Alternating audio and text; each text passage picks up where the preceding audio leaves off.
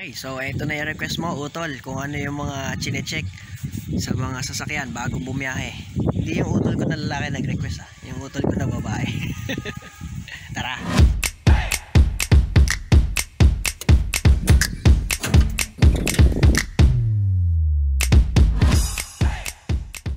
So, si Doc Chris ito.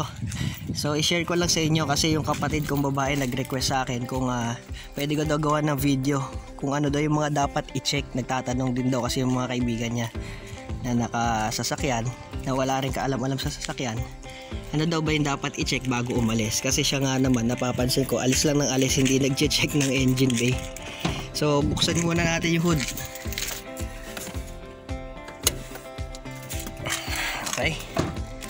So alam nyo naman pag medyo bago ang sasakyan eh, hindi nila inaangat yung hood masyado yung mga walang hilig sa sasakyan.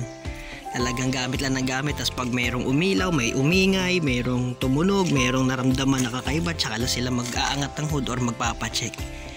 So ito, turo ko lang ng mabilisan sa mga kaibigan natin, lalo yung mga viewers natin ng mga babae na hindi talaga nag-aangat ng hood mga client natin na pag pumunta rito talaga lupa-lupa na yung buong engine bay kasi hindi naman daw nila yung inaangat. So lagay muna natin yung hood stand. So as usual tulog pa yung ating camera boy yung aking anak na pogi. Dahil anong oras pa lang ba ngayon? Alas 6 pa lang na umaga. Okay. So ang una ninyo i-check dyan fluids. So brake fluid pwede ninyo i-check ang brake fluid. Ayan maximum. No? Ayan pupunasan lang yung mga alikabok na ganyan. Talaga tong kapatid ko. Ayan puno naman. So okay. Tsaka malinaw pa. Tapos langis ng makina. Ito yon check nyo rin. Kasi minsan hindi natin inaasahan. Yung langis nagbabawas yan. So kumpleto naman. No? ayan yung tuldok na una. Yan yung minimum ang maximum naman itong uh, pangalawang tuldok. So kumpleto ang langis. Alam nyo bigyan ko kayo ng tip no? Okay lang ho na ang langis ninyo sa makina pag chinek ninyo ng ganyan mababa ng konti sa full. Bakit ho? Kasi ho pag uh, ang makina natin may mga naiiwang langis yan sa ibabaw no? Sa may uh, ibabaw ng makina sa oil filter depende pa yan kung anong laki ng oil filter nyo. Kaya ho yung langis ninyo doon sa dipstick okay lang na. Hindi siya nakadikit sa maximum. Kahit mababa ng konti okay lang po yun. Kasi may natitira pa langis sa oil filter may natitira pa sa ibabaw ng makina sa mga gilid-gilid di ba? Di naman lahat yan kasi nasa oil pan eh.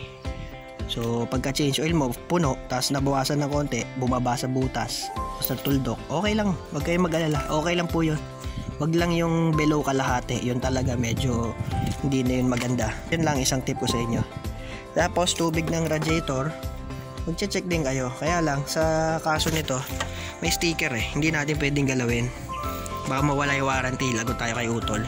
Kung hindi nyo dyan ma-check total yung mga bago bihirang bihira naman magbawas dyan. Dito ay magche-check sa ano sa reserve. Dyan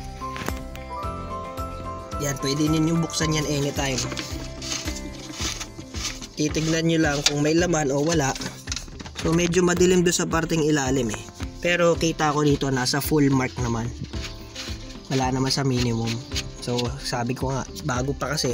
Hindi naman talaga yan magbabawas maliban na lang aksidente. Mayroong hose na kinagat ng daga ganyan check nyo rin pala isa yung mga ipot ng daga dyan sa mga gilid-gilid. Baka kasi kagatin yung wirings ninyo. Pag hindi kayo nag-aangat lagi ng hood mga nakabagong sasakyan marami-rami na rin dito pumunta. Kinagat ng daga yung mga wiring dyan. Makita nyo may mga dumi ng daga dyan sa mga gilid-gilid. Kasi nga hindi nyo nabubuksan pinamahayan na pala. So obserbahan nyo rin yun kasi mahal din magpagawa ng wiring lalo pag bago. Syempre kasi yan automatic tapos ito yung windshield washer pwede mo rin i-check. Yan may mark din naman yan kung full or minimum. So okay naman. Yan yung minimum sa baba. Yung low. So puno naman siya.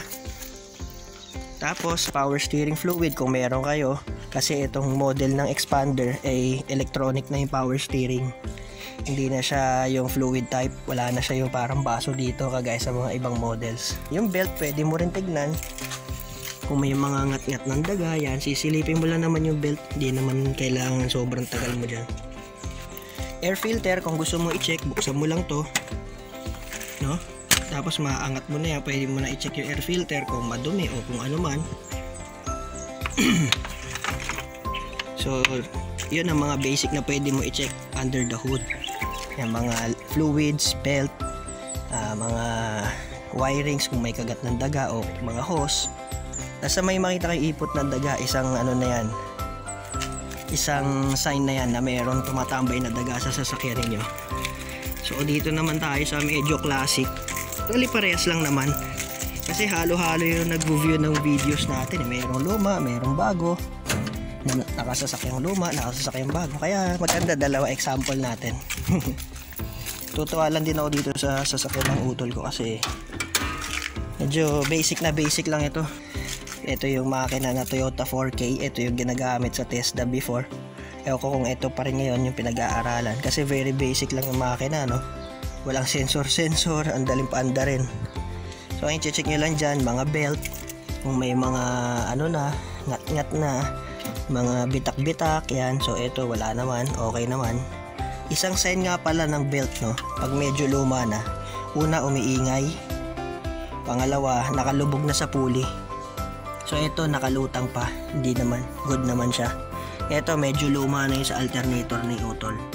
Yan, medyo lubog na siya yung belt sa pulley. Palubog na. Yan, dyan mo malalaman pag ang belt mo ay manipis na or kailangan ng paltan. So, belt, tubig sa radiator, sa reserve, check mo din kung may laman. Brake fluid, i-check mo din. No? Kung malinaw pa, kung maitim na, ipa-flash mo na. Mura lang naman yan.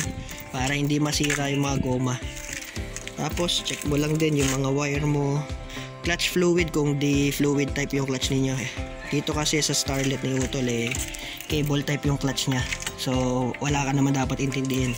As long as malambot yung clutch mo, hindi naman sumasabit or hindi maganit, okay lang. Langisan mo lang kahit once a month or every 2 months langisan mo yung uh, cable para humaba buhay. Pag gumaganit kasi yan may mga minsan may himulmul na sa biyahe mapuputulan ka. Pero sobrang haba ng buhay ng clutch cable. Tsaka yung gulong syempre ikutan ninyo yung gulong. Tignan ninyo kung malambot o hindi. Tsaka yung reserba ninyo nga pala alam nyo iyan ang isa madaming nagkakamalitan yung mga reserbang gulong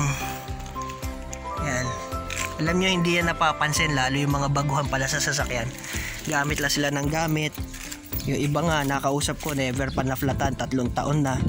Pagbaba nila ng gulong nila it's either flat na flat na or uh, yung bumakat na yung pinaka railing yung pansalo.